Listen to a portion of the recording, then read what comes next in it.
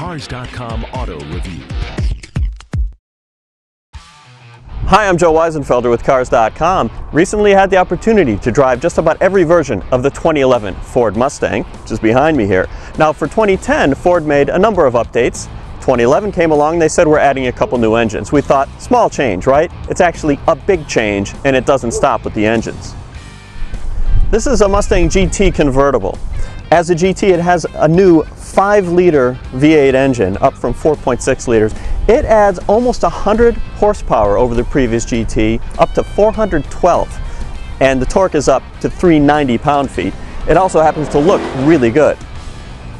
Now that's a lot of power, but the V6 engine is probably more impressive. It's now a 3.7 liter instead of a 4. It is up 95 horsepower to 305. That's roughly what the 2010 V8 produced.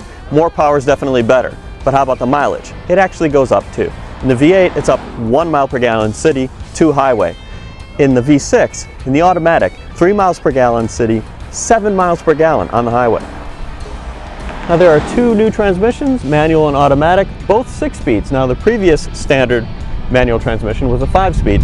Uh, this one feels really good, short throws, kind of a low knob. Now because this is a premium trim level, it has this aluminum ball shifter, which is nice, but even the standard one's quite good.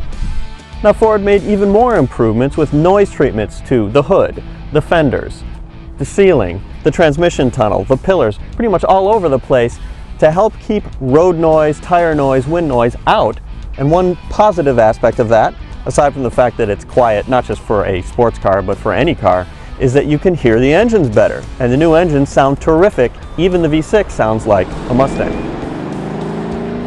There are a lot of nice options, both packaged and standalone, including some performance ones. There's a Brembo brake package for the GT. Uh, you can get similar packages for the V6, including 19-inch wheels, etc., uh, summer tires. And uh, there are probably about three or four different spoilers you can get now. One of the best options is the spoiler delete, which I think looks the best. Now Ford is offering a number of different rear axle ratios for quicker launches off the line. Now if you consider you can get a V6 Mustang for just over $22,000 and you can get things like a rear axle ratio, performance package, etc. Even on a base version, that's a lot of performance car for not a lot of money.